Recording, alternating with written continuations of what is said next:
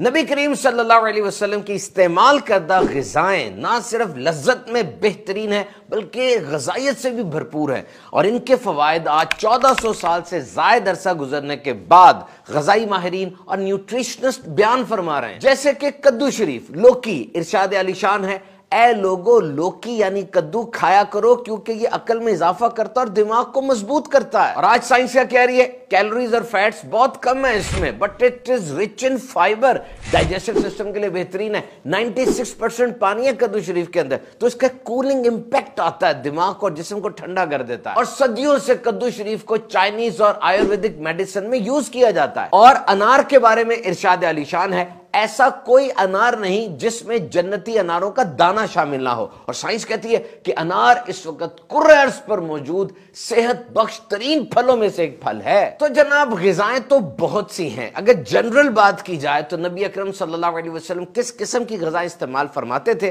जादल माद के अंदर है कि उनमें तीन प्रॉपर्टीज़ होती थी। नंबर वन कवायद जिस्मानी के लिए मुफीद हो, यानी good for each and every organ of body energy releasing वो गजाएँ जो इंसान के हर उज के लिए मुफीद हो पावरफुल गजाएँ हो। नंबर टू मैदे के लिए खफीफ और नरम हो, यानी सॉफ्ट हो। नंबर थ्री जल्द हजम होने वाली गजाएँ, यानी डाइजेस्टेबल तो यूज़ होल ग्रेन फ़ूड खालिस और ऑर्गेनिक चीज़ें खाइए, वो जिसे रिफाइंड कहते हैं, जिसमें से बहुत कुछ निकाल लेते हैं, वो नहीं। नबी अकरम सल्लल्लाहु अलैहि वसल्लम गंदम के बगैर छने आटे की रोटी इस्तेमाल फरमाते, जैतून, खजूर, पीलू का फल, तरबूज और शहद, इन गजाओं को भी नबी अकरम सल्लल्लाहु अलैहि वसल्लम ने नवाजा है और इन्हें इस्तेमाल फरमाया है। और आज इन गजाओं की न्यूट्रिशनल प्रोफ़ाइल पढ़ के देख लीजिए, जदीद तहकीक के मुताबिक ये एनर्जी का पावर हाउस है। और फिर डेयरी प्रोडक्ट्स को अपनी गजा का लाजमी हिस्सा बनाए। दही तो बहुत इंपॉर्टेंट है जनाब।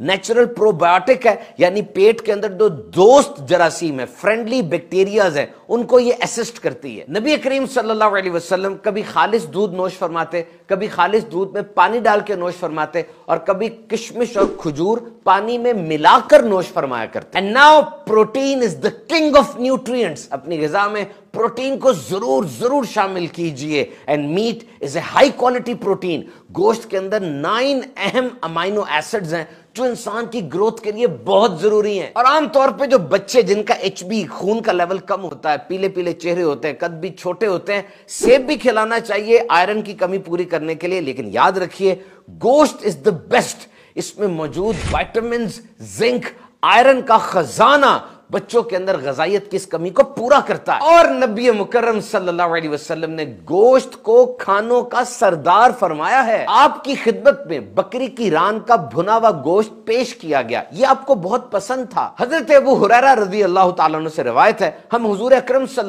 वसल्लम की खिदमत में हाजिर थे।